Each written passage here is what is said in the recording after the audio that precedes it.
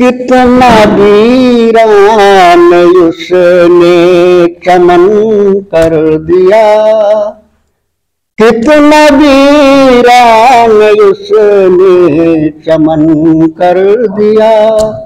हमने किसके हवाले वतन कर दिया। कितना वीरान हमने चमन कर दिया, किसके हवाले हमने वतन कर दिया। ये लाइन पढ़ने वाला और कोई नहीं।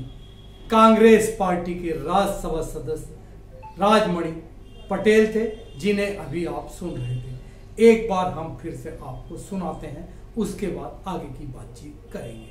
तो आपकी मर्ज़ी कितना वीरान उसने चमन कर दिया।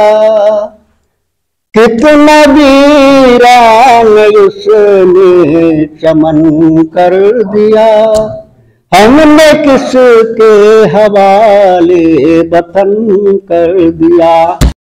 कांग्रेस पार्टी के राज्यसभा सदस्य साफ़ तौर से रीवा के सर्किट हाउस में पत्रकार वार्ता करके इन दिनों गोविंदगढ़ में किसानों की ज़मीन लेने के बाद उनको नौकरी ना देने के लिए बुलाई गई पत्रकार वार्ता में बातचीत कर रहे थे। उनका साफ़ तौर से कहना था, किसानों की मदद करने में सबको साथ आना चाहिए। सुनिए, उन्होंने क्या कुछ कहा। हम लोग सबसे पहले इस लाइन के सर्वे का मामला और इस लाइन में प्रभावित किसानों के बच्चों को नौकरी देने का मामला सदन में भी हमने उठाया था। सदन से जानकारी भी आज तक अभी हमारे पास नहीं आई। कुछ सांसदों को जानकारी है दी गई है कि माने नियम बदल दिया गया तो इसमें हमारा सरकार से अनुरोध है और मांग है रेलवे विभाग से भी है कि बहुत अहम मसला है, किसानों के भविष्य से जुड़ा हुआ है और किसान का ये पूरी तरह से खेती ही धंधा है, जिस पर उसका पूरा भविष्य निर्भर रहता है। इसमें किसी तरह के गाँव पेज से, किसी तरह की टेक्निकल जानकारी के आधार पर इसको उलझाने की ज़रूरत नहीं है, किसानों का हक अधिकार मारने की ज़रूरत मांगने की ज़रूरत नहीं है। इसको सरकार को उदारता के साथ जिस तरह से पहले नियम था, उसी नियम के आधार पर किसानों के एक परिवार के सदस्य को नौकरी देना चाहिए। आज के सबसे ज्वलंत मुद्दे अडानी को लेकर भी उन्होंने जमकर भारतीय जनता पार्टी पर निशाना साधा। उनका साफ़ तौर से कहना था। दुनिया का दूसरे तीसरे नंबर का आदमी, आप ही कह रहे हैं अडानी था। लेकिन जब टैक्स की बात आती है तो टैक्स नहीं दे रहा था। कमाई में बढ़ता चला जा रहा, टैक्स नहीं दे रहा। अगर ये बात आम आदमी ने की होती तो उसके घर में तुरंत ईडी सीबीआई की रेड पड़ जाती। लेकिन अडानी का मामला है, कोई कुछ भी नहीं बोल रहा। सुनिए, उन्होंने किस तरीके से जमकर निशाना साधा अडानी मामले पे भारतीय जनता पार्टी की, केंद्र की सरकार पर। कांग्रेस पार्टी बेवजह अडानी पर आरोप लगा रही है। आप लोग बेवजह किसी उद्योगपति को परेशान कर रहे हैं। क्यों? देखिए बेवजह की परिभाषा जो है हमारी दूसरी परिभाषा है भारतीय जनता पार्टी की दूसरी परिभाषा है। ये भारतीय जनता पार्टी की परिभाषा में है कि हम बेवजह परेशान कर रहे हैं। हम परेशान नहीं कर रहे हैं और हम उसके खिलाफ नहीं है। लेकिन जो प्रक्रिया है जो कानून है, वो सबके लिए बराबर है।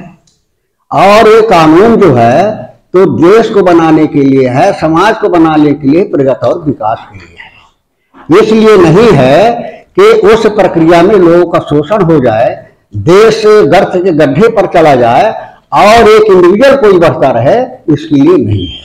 अडानी मामले में केवल इतना कहना चाहते हैं कि ठीक है बैंक कर के लिए है।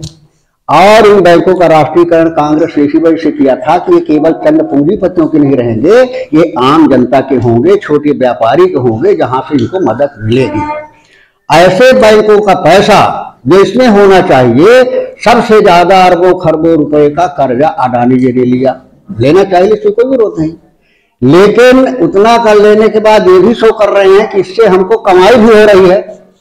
लाखों रुपए की कमाई भी हो रही है। और दुनिया में भी बता रहे हैं कि दुनिया की जो सूची है धनवानों में, उसमें माने तीसरे, चौथे नंबर के भी हैं। ये तो आम रिकॉर्ड है ना? इसमें तो कोई उसका सवाल ही नहीं है। जवान रिकॉर्ड है, सबसे अधिक कमाई हो रही है, सबसे ज़्यादा कर्जा लिए हो और सबसे ज़्यादा माने पूंजीबाजियों की सूची में नाम है तो फिर इसके बाद क्या ये प्रावधान है कि पैसा पटाना चाहिए बैंक का? क्यों नहीं पटाया जा रहा? है क्या इसके बाद है कि इतने कमाई किए हो तो उसमें टैक्स देना चाहिए? फिर उसमें टैक्स कम दे रहे हो।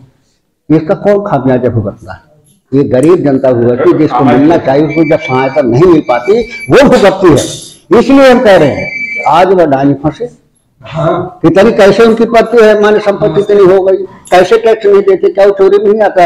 यहाँ से जो छोटे मोटे व्यापारी हैं वो टैक्स के दायरे में आ जाए तो उनकी कार्रवाई हो जाती टैक्स चोरी किया। है अब ये खुद कह रहा है जनता के सामने किसी को प्रूफ की ज़रूरत नहीं है कि हम दस करोड़ कमा रहे हैं और टैक्स हम एक करोड़ कमाने का दे रहे हैं। अभी क्या है? हम्म। मैं इसका विरोध करता हूँ। ये जो प्रक्रिया है इसमें गरीब का हक अधिकार मारा जाता है गरीब का शोषण होता है और पूंजीपति बढ़ता है उनकी आय बढ़ती है। और इसी को शायद मोदी जी विकास कह रहे कि विकास विकास सबसे अधिक विकास। ये थे हमारे साथ राज्यसभा सदस्य कांग्रेस पार्टी।